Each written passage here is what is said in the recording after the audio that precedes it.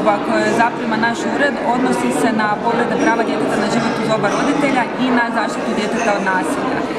djeca su izložena nasilju e, u institucijama, preko interneta,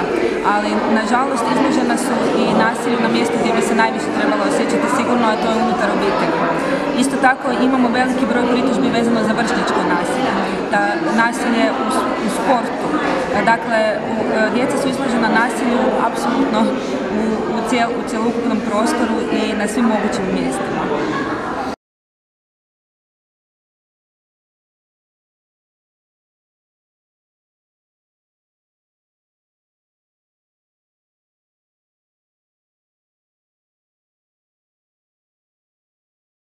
Ovako, znači e, u e,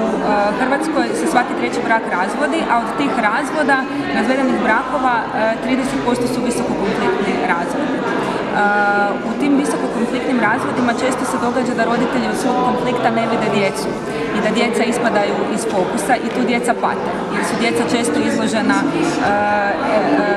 zlostavljajućem i zanemarujućem ponašanju od strane roditelja u takvim situacijama jer dijete treba oba roditelja i tu zapravo onda govorimo o e, otuđivanju djeteta od roditelja, drugog roditelja, manipulaciju. I upravo zato mi smatramo da bi trebalo e, takve, e,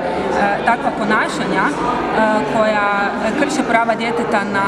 oba roditelja i prava djeteta na nasilje, da bi trebalo odgovarajuće sankcionirati i propisati kao poseban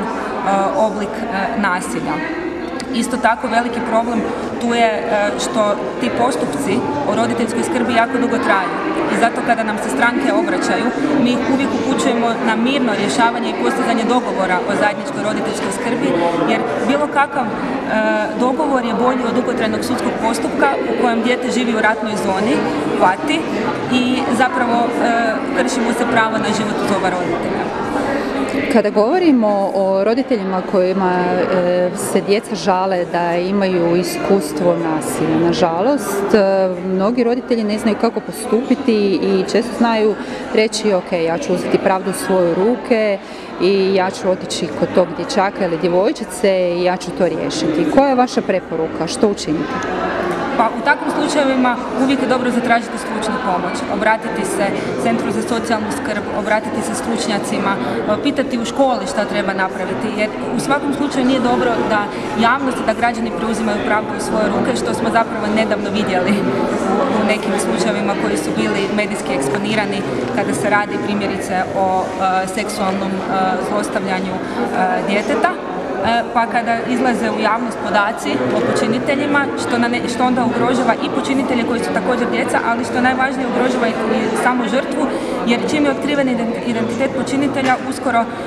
će doći do otkrivanja identiteta žrtve. Tako da u svakom slučaju ne samo roditelji, nego kada se radi o nasilju, e, ono što je bitno da bilo tko ko primijeti bilo kakvu i najmanju sumnju na nasilje, da prijavi takvo nasilje i da ne okreće glavu od nasilja, da ne kaže to je problem, to je njihov problem, neću se ja u to miješati. Zato što da bi centri za socijalnu skrb mogli postupati i poduzimati određene mjere obiteljsko-pravne zaštite moraju imati informaciju. I zato uvijek apeliramo svako nasilje uvijek prijaviti nadležnom